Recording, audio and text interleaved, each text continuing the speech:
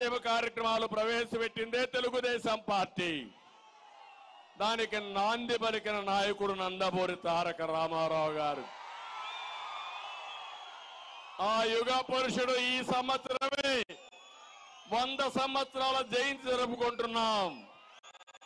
ప్రపంచంలో వంద నగరాల్లో పబ్లిక్ మీటింగులు పెట్టి ఇలాంటి మీటింగ్లు పెట్టి ఆ మహనీయుడికి నివాళులు అర్పిస్తున్నాం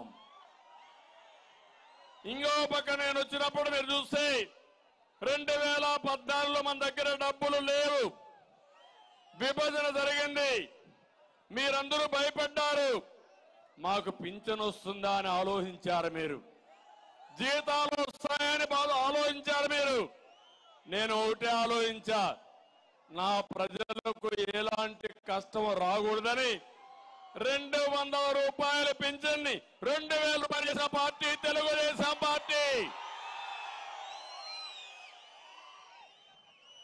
ఉద్యోగస్తులకి తెలంగాణలో అప్పుడు ధనిక రాష్ట్రం ఇప్పుడు ఇంకా ధనిక రాష్ట్రం అయింది. మనం చేసిన పని వల్ల. కానీ తెలంగాణలో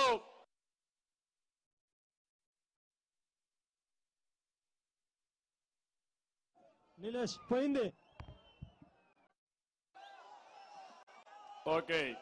నలభై రెండు పర్సెంట్ ఫిట్మెంట్ ఇస్తే ఒక్క నిమిషం ఆలోచించకుండా నా ఉద్యోగ సోదరి సోదరులందరికీ నలభై రెండు పర్సెంట్ ఫిట్మెంట్ ఇచ్చా. తెలంగాణలో రైతు రుణమాఫీ లక్ష చేస్తే నేను లక్ష యాభై వేలు చేసి ఒకేసారి యాభై వేల రూపాయలు రైతులకు రుణమాఫీ చేసిన పార్టీ తెలుగుదేశం పార్టీ. అవునా కాదా అడుగుతున్నా. ఈ రోజు ఏడు వేలు అన్నాడు. పన్నెండు వేల ఐదు వందలు చెప్పి ఏడు వేల ఐదు వందల రూపాయలు ఇచ్చి ఏ రైతు కూడా ఏ సహాయం చేశాడా అని అడుగుతున్నా. సాగునీటి ప్రాజెక్టులు పడకేశాయి. డ్రిప్ ఇరిగేషన్ లేదు. ఎక్కడ కూడా ఎలాంటి కూడా లేకుండా పండించిన పంటకు గిట్టుబాటు ధర లేకుండా రైతాంగం అప్పుల పాలైపోయారు. అందుకనే ఇలాంటి పనులు చేశానంటే ఒక ధైర్యంగా ముందుకు పోయాను. ఇంకొక పక్క అమరావతి ప్రారంభించాను. పోలవరం పూర్తి చేసి వెలుగొండ పూర్తి చేసి ఈ ప్రాంతాన్ని సస్యశ్యామలం చేయాలని ముందుకెళ్ళా. నేను అడుగుతున్నా ఎవరేశారయ్యా వెలుగొండకు ఫౌండేషను? ఎవరేశారు తొంభై ఆరులో? తొంభై ఆరులో నేను ఆలోచించి ఇక్కడికి వస్తే మీరందరూ ఒకటి అడిగారు. మా ప్రాంతం బాగా వెనుకబడి ఉంది. కరువు ప్రాంతం నీళ్ళు కావాలి. నీళ్ళు ఇవ్వనంటే నీళ్ళు లేవంటే ఒకే మాట అడిగారు. నాకు జ్ఞాపకం పర్వాలేదు.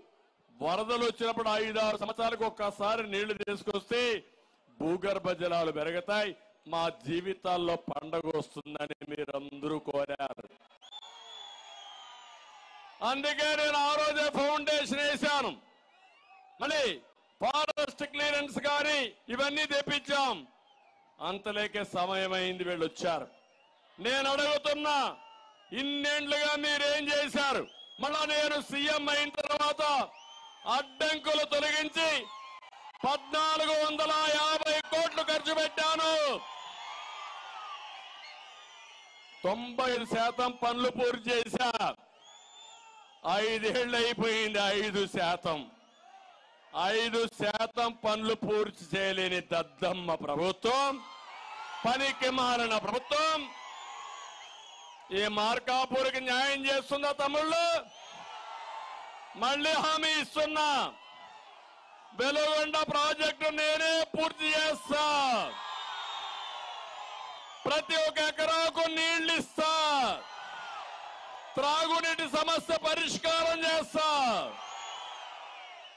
అది చేస్తే కరువు పోతుంది మీ ఆదాయం పెరుగుతుంది మిమ్మల్ని కోటీశ్వర్లు చేయడానికి ఇది కూడా ఒక ఆయుధం.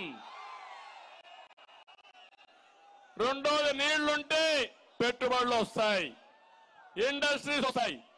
అవి కూడా ఈ ప్రాంతానికి తీసుకొచ్చే బాధ్యత తీసుకుంటాను. అందుకే నేను ఒకటి చెప్తున్నాను. నేనేదో మాయ మాటలు చెప్పడం కాదు.